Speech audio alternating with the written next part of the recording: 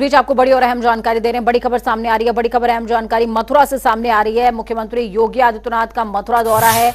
मथुरा को आज करोड़ों की सौगात मिलने वाली है। सीएम योगी आदित्यनाथ कई योजनाओं का शिलान्यास भी करेंगे और लोकार्पण भी। काना की नगरी में आने का सौभाग्य मिला, ये कहना है सीएम योगी आदित्यनाथ का। बड़ी खबर, अहम जानकारी आपको दे रहे हैं मथुरा से। सीएम योगी आदित्यनाथ ने कहा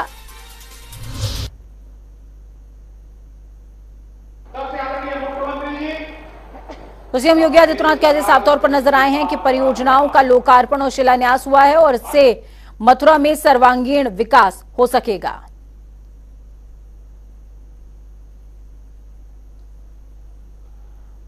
योजना समय से लागू की जा रही हैं।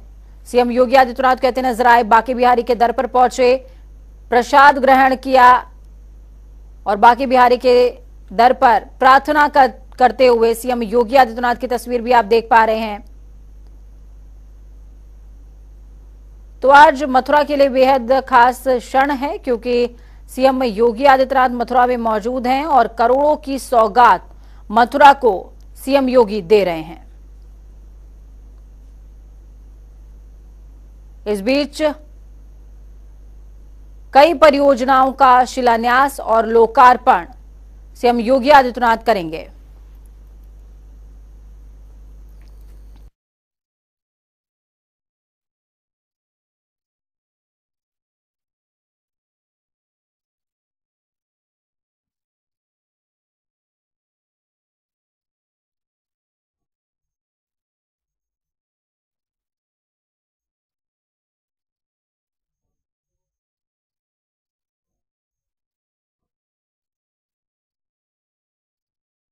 मथुरा दौरा मथुरा को आज करोड़ों की सौगात मिली है। तो इस बीच आपको वाराणसी से बड़ी और अहम जानकारी दे रहे हैं, काशी विश्वनाथ धाम के लोकार्पण का एक साल पूरा हो चुका है। बड़ी खबर अहम जानकारी, काशी विश्वनाथ धाम के लोकार्पण का एक साल पूरा और आज विश्वनाथ धाम में वर्षगांठ का भव्य आयोजन होगा। इस दौरान धार्मिक और सांस्कृतिक कार्यक्रमों का आयोजन भी किया जाएगा।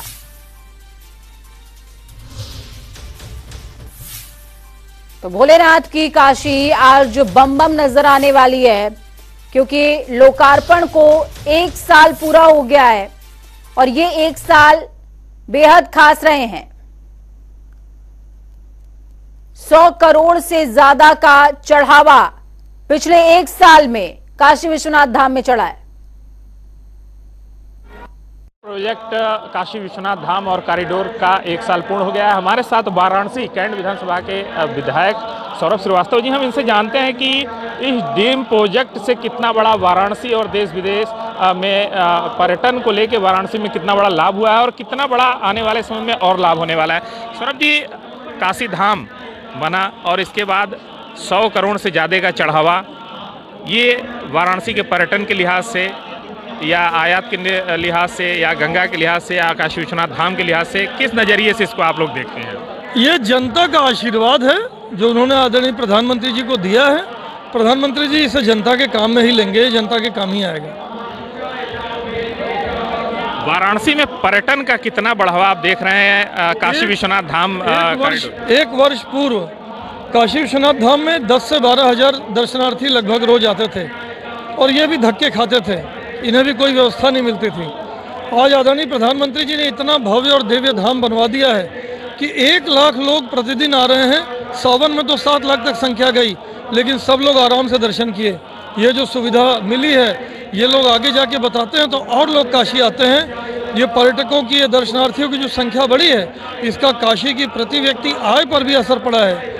आज काशी का पर्यटन उद्योग, काशी के होटल वाले, काशी के रिक्शे वाले, ऑटो वाले, चाय जलपान वाले, सभी की आय में कई गुने की वृद्धि हुई है। सब आदरणीय प्रधानमंत्री जी को इसका आशीर्वाद दे रहे हैं। तो ये थे हमारे साथ सौरभ श्रीवास्तव जी कैंट विधानसभा के विधायक भारतीय जनता पार्टी के। इनका कहना है कि ठेले रिक्शे वाले से लेकर हर जगह पर्यटन में वृद्धि हुई है। कैमरा पर्सन राकेश के साथ धर्मेंद्र चौबे, जनता टीवी, वाराणसी। तो धर्मेंद्र चौबे का रुख करेंगे, लेकिन उससे पहले मथुरा जाएँगे, जहाँ पर सीएम योगी आदित्यनाथ क्या कुछ कह रहे हैं, सुनिए। और इन सभी परियोजनाओं के लिए इस भूमि को एक बार नमन करते हुए आप सभी जनता जनार्दन को इन सभी परियोजनाओं को समर्पित कर रहा हूँ भाइयों हम सब सौभाग्यशाली हैं कि ब्रजभूमि में हम सबको आने यहाँ पर बसने, भगवान की इस लीला भूमि को देखने का सौभाग्य नज़दीक से हम सबको प्राप्त होता है। एक लंबी विरासत है हमारे पास। और उत्तर प्रदेश इस मामले में बहुत सौभाग्यशाली है। यहाँ पे भगवान श्री कृष्ण की पावन जन्मभूमि होने के साथ ही राधे रानी और भगवान श्री कृष्ण के लीला की भूमि भी है। भगवान श्री राम की जन्मभूमि अयोध्या में उत्तर प्रदेश में है। बाबा विश्वनाथ का पावन धाम भी उत्तर प्रदेश में है। दुनिया की सबसे पवित्र नदियों में से नदियाँ गंगा मैया का आशीर्वाद और यमुना मैया का आशीर्वाद भी उत्तर प्रदेश को प्राप्त होता है। सबसे बड़ा दुनिया का सांस्कृतिक आयोजन यह उत्तर प्रदेश के अंदर ही प्रयागराज में कुंभ के रूप में होता है। और हम सब इस बारे में जानते हैं, माँ विंध्यवासिनी का धाम इस धरा से ही पवित्र स्थल का संबंध है, वह भी उत्तर प्रदेश में है। भगवान राम ने वनवास कालखंड में सर्वाधिक समय जिस भूल पर व्यतीत किया था वह चित्रकूट भी उत्तर प्रदेश में है। और भगवान बुद्ध से जुड़े हुए सर्वाधिक पवित्र स्थल भी उत्तर प्रदेश में मौजूद है। भारत की पूरे वैदिक ज्ञान को लिपिबद्ध करने का कार्य जिस धरा पर हुआ था, और मेरी सारण भी उत्तर प्रदेश में है। और भागवत की पहली कथा भगवान श्री कृष्ण के ही परंपरा में उनके पौत्र को सुनाने का सौभाग्य जिस धरा पर प्राप्त हुआ था वह सुख तीर्थ भी उत्तर प्रदेश की धरती पर है। और उस धरा पर हम सबको न केवल जन्म लेने का, बल्कि अपनी कर्म भूमि के माध्यम से यहाँ पर सेवा का अवसर प्राप्त होता है। स्वाभाविक रूप से पूर्व जन्मों के पुण्यों का ये संस्कार है। आज हम सब तो सीएम योगी आदित्यनाथ एक तौर पर कहते हुए नज़र आए कि उत्तर प्रदेश वो धन्य भूमि है जिसमें हमें सौभाग्य मिला है जन्म लेने का और इसके सर्वांगीण विकास का उत्तर प्रदेश सरकार को सौभाग्य मिला है और वो काम सरकार बखूबी कर भी रही है। चलिए, काशी का रुख करेंगे, क्योंकि अयोध्या तो सिर्फ़ झांकी थी, काशी मथुरा बाकी थी। मथुरा की तस्वीर आपको दिखाई अब रुख काशी का होगा। काशी में धर्मेंद्र चौबे जुड़े हुए हमारे साथ में। धर्मेंद्र, काशी विश्वनाथ कॉरिडोर को एक साल पूरा हुआ है और आज काशी बम बम है। बम बम इसलिए नहीं है क्योंकि शिव से जुड़ा कोई त्योहार है। बम बम इसलिए नहीं है क्योंकि आज सोमवार है। बम बम इसलिए नहीं है क्योंकि आज कोई तीज है या फिर कोई आ, पहुँचने वाला है वहाँ पे। बल्कि बम बम इसलिए है क्योंकि वहाँ पर आज एक साल पूरे हो गए ऐसे में क्या रौनक नज़र आ रही है? पहले पूजा मैं यहाँ दृश्य के माध्यम से दिखाना चाहूँगा। देखिए बाबा विश्वनाथ धाम ये है और यहाँ पे दर्शनार्थियों की लंबी लाइन लगी हुई है लंबी कतार है। यहाँ पे दर्शनार्थी लगातार सुबह से दर्शन कर रहे हैं। और काशी की जो सजावट हुई है ये काशी विश्वनाथ धाम की देखिए मैं दृश्यों के माध्यम से दिखाना चाहूँगा कि पूरी तरह से काशी विश्वनाथ धाम को सजा दिया गया है। एक वर्ष पूर्ण आज हुआ है और उसके उपलक्ष्य में त्योहार मनाया जा रहा है। आ, ये उत्सव मनाया जा रहा है काशी विश्वनाथ धाम का और यहाँ श्रद्धालु देव दूर दराज से आए हुए हैं। आज विश्वनाथ जी आए हैं एक साल पूर्ण हुआ। कैसा लग रहा है? तो तमिल ओके। आ, तो ये तमिल से लोग हैं तमिल संगमम में आए हुए लोग हैं और ये लोग का कहना है कि तमिल संगमम के आधार पे भी खूबसूरत दिख रहा है और यहाँ देखिए दिव्यांग भी लोग जा रहे हैं। तमाम सुविधाएँ की गई है पूजा।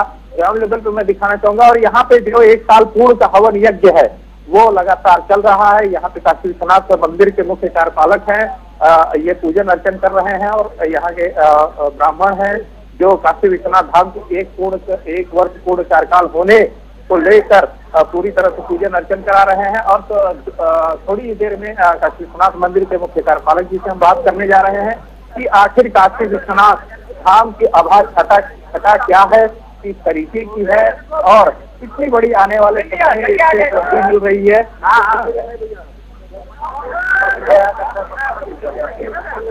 तो धर्मेंद्र चौबे, काशी से आपको काशी की अद्भुत छटा दिखा रहे हैं, जिसमें साफ़ तौर पर आपको नज़र आएगा कि काशी तमिल समागम भी एक योगदान दे रहा है। काशी की जो संस्कृति है, उसका चहोर प्रचार प्रसार करने में काशी तमिल समागम का भी एक विशेष योगदान है और इस बीच धर्मेंद्र चौबे की कोशिश है कि वो प्रतिनिधियों से बातचीत कर सके। कार्यपालक जी भी हैं इनसे भी बात करने जा रहे हैं कि आखिर काशी विश्वनाथ धाम में एक वर्ष में क्या पर्यटन के लिहाज से लाभ हुआ क्या चढ़ावा चढ़ा?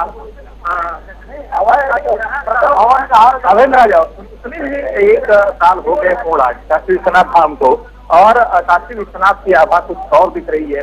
लगातार पर्यटन बढ़ा हुआ है? आने वाले समय में क्या लक्ष्य रखा जाएगा इसका? बिल्कुल बाबा विश्वनाथ धाम के एक वर्ष पूर्ण होने के उपलक्ष्य में हम लोग यहाँ पे हर्षोल्लास से बाबा के वर्षान मना रहे हैं। आगे आने वाले और बचत सुविधाएँ डेवलप करेंगे पूरा न्यास परिवार हम लोगों के साथ है, पूरा मंदिर के साथ है और हम लोग पूरा दिन से आज हर्षोल्लास मना रहे सुबह से बाबा का अमल होगा पूजन होगा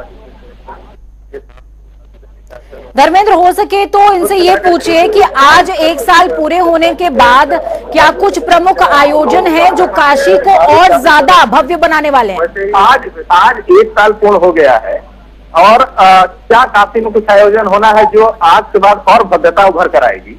जो देखिए हम लोगों का उद्देश्य ये है कि जैसे पूरे एक साल में हमने लगभग साढ़े सात करोड़ श्रद्धालु धाम में आए तो इस तरह से उनसे जुड़ाव महसूस हुआ।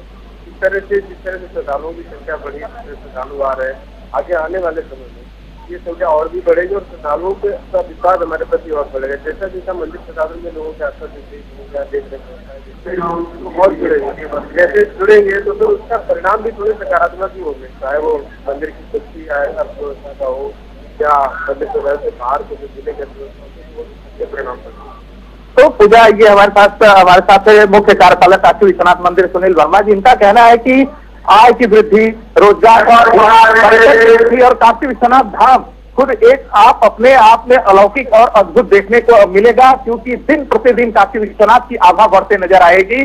क्योंकि ये देखिए, काशी विश्वनाथ मंदिर है, मैं फ्रेम के माध्यम से दिखाना चाहूँगा। सामने सीधे एकदम मंदिर दिख रही है स्वर्ण जड़ित मंदिर, बाबा विश्वनाथ धाम की पूजा मैं लाइव के माध्यम से दिखा रहा हूँ। देखिए एक्सक्लूसिव तस्वीर है ये।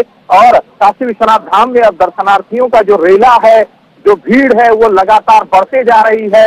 अद्भुत अकल्पनीय अविस्मरणीय दृश्य है पूरा कॉरिडोर। मानो इस कदर है जैसे पैंतीस करोड़ देवी देवताओं का वास यहाँ हो गया हो पूजा। अद्भुत दृश्य देखने को मिल रहा है। लगातार श्रद्धालुओं की बढ़ोतरी हो रही है। काशी विश्वनाथ दर्शन करके आ रही है। कैसा लग रहा है? आ, एक साल पूर्ण हो गए काशी विश्वनाथ धाम में। क्या कहना चाहेंगी? लगातार यहाँ दर्शनार्थी बढ़ रहे हैं। अरेंजमेंट अच्छा। है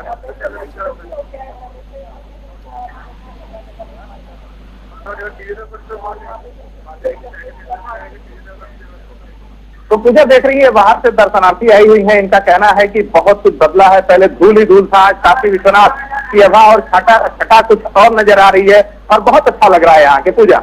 बहुत शुक्रिया धर्मेंद्र हमारे साथ जुड़ने के लिए हम जानकारी ग्राउंड ज़ीरो से साझा करने के लिए। तो आज काशी आ, का की जो रौनक है वो अलग तरीके की नज़र आ रही है भव्यता अलग नज़र आ रही है क्योंकि आ, काशी विश्वनाथ कॉरिडोर को बने हुए एक साल पूरे हो गए हैं और इस एक सालों में पर्यटकों का इजाफा हुआ है रोज़गार में वृद्धि हुई है साथ में काशी की भव्यता में चार चाँद लगे हैं।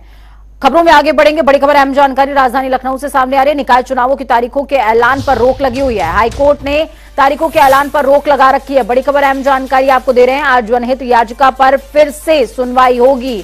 सुनवाई के बाद तारीखों के ऐलान पर फैसला होगा। बड़ी खबर अहम जानकारी आपको दे रहे हैं। हाईकोर्ट के लखनऊ बेंच में सुनवाई चल रही है। सुनवाई के बाद ही निकाय चुनाव की तारीखों को लेकर फैसला होगा कि आखिरकार कब ऐलान किया जाए। चलिए ग्राउंड ज़ीरो का रुख करते हैं अनूप। हमारे साथ में ग्राउंड ज़ीरो से जुड़े हुए हैं। अनूप, क्या कुछ अपडेट है? देखिए निकाय चुनावों को लेकर के जिस तरीके से न सिर्फ़ बीजेपी, न सिर्फ़ सपा, हर कोई एक्टिव मोड में है। धुरंधरों धुरंधरों का जमावड़ा ग्राउंड ज़ीरो पर उतरा हुआ है। लेकिन इस बीच हाई कोर्ट का हडल कि निकाय चुनावों की तारीखों का ऐलान तब होगा जब हम फैसला सुना देंगे।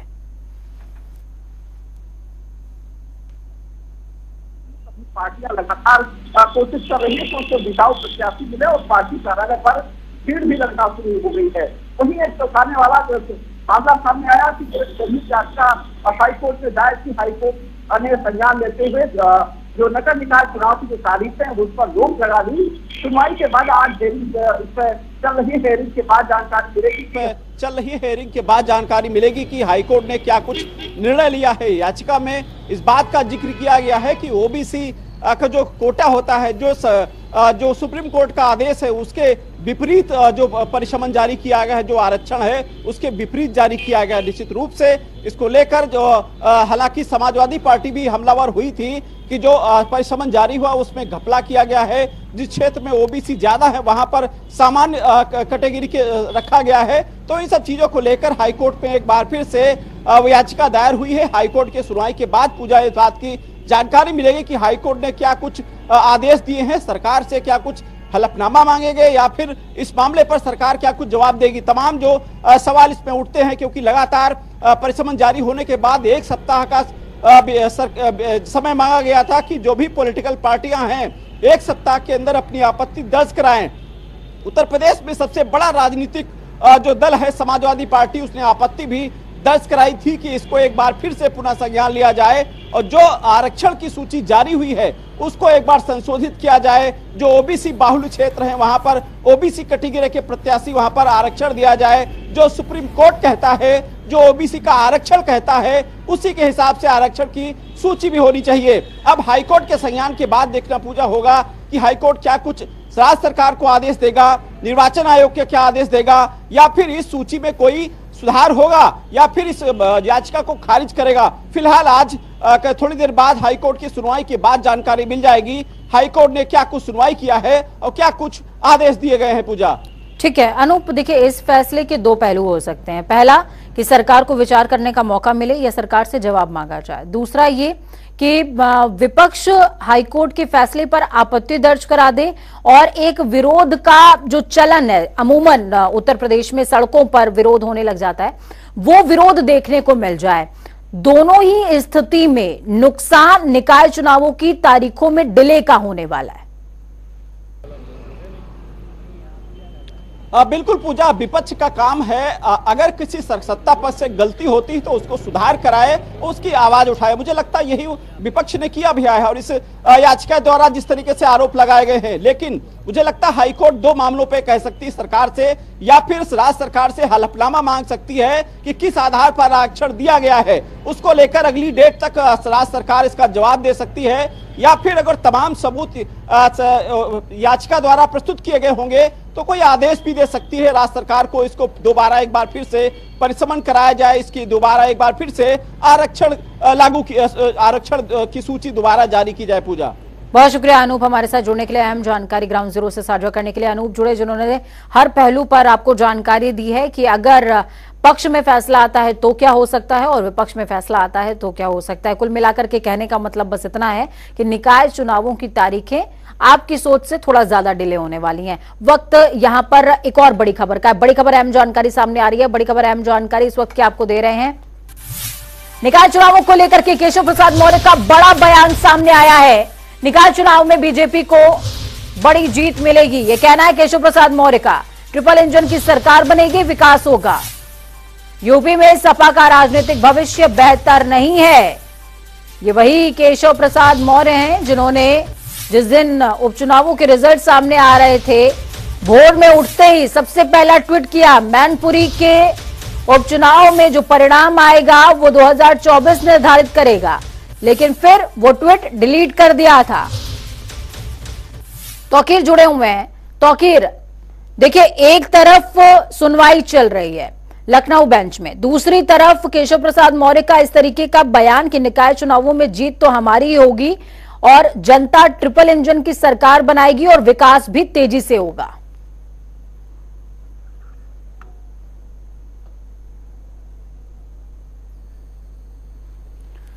तो नेताजी के देहांत के बाद मैनपुरी में जीत का ज़िक्र भी किया था। यहाँ पर केशव प्रसाद मौर्य ने, हालाँकि उस ट्वीट को बाद में डिलीट कर दिया। अब निकाय चुनावों को लेकर के केशव प्रसाद मौर्य का बयान सामने आया है। उन्होंने साफ़ तौर पर कहा कि सूबे के अंदर ट्रिपल इंजन की सरकार बनेगी और ये ट्रिपल इंजन की सरकार विकास करेगी। ग्राउंड ज़ीरो से तौकीर जुड़े हुए हमारे साथ में तौकीर। देखिए, बयानवीर हैं, दोनों ही डिप्टी सीएम। फिर चाहे वो ब्रजेश पाठक हो, केशव प्रसाद मौर्य हो, या फिर कोई और।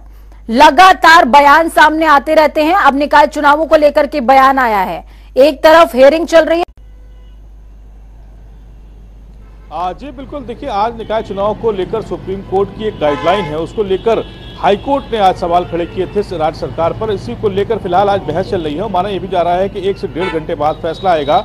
आ, क्योंकि हाईकोर्ट ने कहा था कि जो सुप्रीम कोर्ट की ट्रिपल लेयर टेस्ट है उसको अपनाया नहीं गया राज्य सरकार की तरफ़ से। कल फ़िलहाल इसी बात पर सुनवाई हुई थी और याचिकाकर्ता जो वैभव पांडे हैं, उनकी याचिका पर सुनवाई करते हुए आज तक की रोक भी लगाई है हाईकोर्ट ने और आज जब तक सुनवाई पूरी नहीं हो जाती, तब तक कोई भी फैसला चुनाव आयोग या नगर निकाय चुनाव को लेकर नहीं दे पाएगा। तो फ़िलहाल लेकिन इसको लेकर राजनीति ज़रूर गरमाई है कि क्या होगा, कैसे होगा। लेकिन ओबीसी की खासकर आपने जो बात की है कि ओबीसी वर्ग जो सबसे ज़्यादा राजनीति का बड़ा हिस्सा भाजपा के पास है सभी बड़े पदों पर ओबीसी के नेता नज़र आते हैं और ओबीसी यानी कि यूँ कह सकते हैं कि अगर चौवन परसेंट ओबीसी उत्तर प्रदेश में है तो उसमें सबसे बड़ा वर्ग भाजपा के साथ रहता है। और यही वजह है कि पहले भी उत्तर प्रदेश सरकार बनी और हो सकता है कि यही वर्ग और यही वर्ग पर मजबूती से पकड़ बीजेपी के इस बयान के पीछे का रीजन हो। बहुत शुक्रिया तोकीर हमारे साथ जुड़ने के लिए अहम जानकारी ग्राउंड ज़ीरो से साझा करने के लिए। वक्त यहाँ पर छोटे से ब्रेक का है। ब्रेक के उस पार खबरों का सफ़र लगातार जारी है। बने रहिए जनता टीवी के साथ क्योंकि हमें आपकी ताकत। नमस्कार।